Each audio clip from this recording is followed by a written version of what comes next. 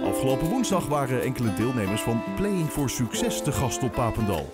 Dit is best uniek, want normaal gesproken gaan de Vitesse-spelers juist op bezoek bij hun, op het leercentrum in Gelredome. Playing for Succes is een tienweeks project waar leerlingen aan meedoen die een duwtje in de rug nodig hebben als het gaat om studie. Ze werken in die periode aan zelfvertrouwen, motivatie en samenwerken. Ja, het zijn deelnemers van eh, Prisma, een school hier eh, niet zo ver vandaan, eh, vlakbij het dorp. En op het Prisma zitten leerlingen met een verstandelijke beperking.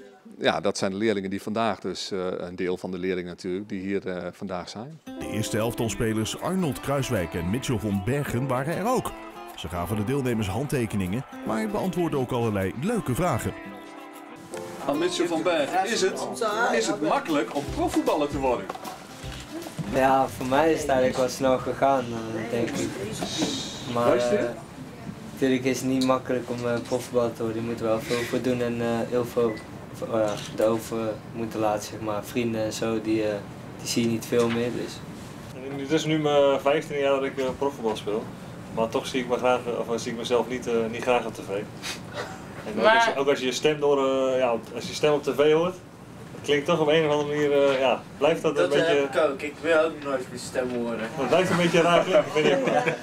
Dat vind ik best wel raar. Ja, dat vind ik ook nog steeds. Hè. Nooit meer kunnen eten of nooit meer kunnen voetballen? Nou ja, aangezien ik nu 15 eh, jaar voetbal heb gespeeld, dan uh, worden we niet meer voetballen.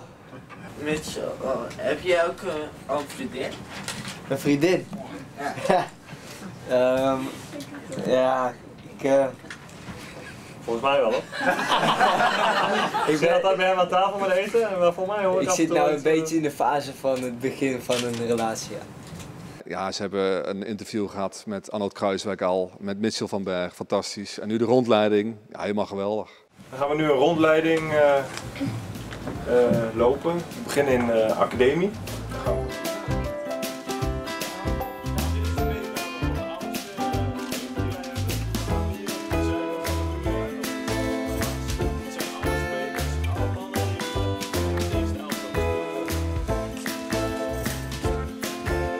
Nou, nu zijn we op de plek beland waar het eerste elftal, na de trainingen en voor de trainingen, hier hun voetbalschoenen aantrekken, hun spullen pakken en naar buiten lopen. Gaan, we, gaan ze hier omhoog.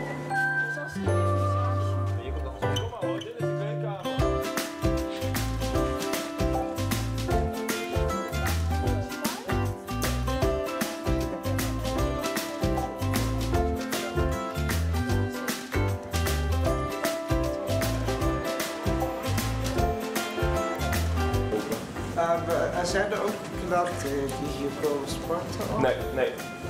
De deelnemers keken hun ogen uit en genoten zichtbaar van de bijzondere middag op Papendal. Een middag die ze niet snel meer zullen vergeten. Ik zei net al, uh, daar hebben ze het volgend jaar nog over en misschien nog wel langer. Het is een hele bijzondere dag voor ons.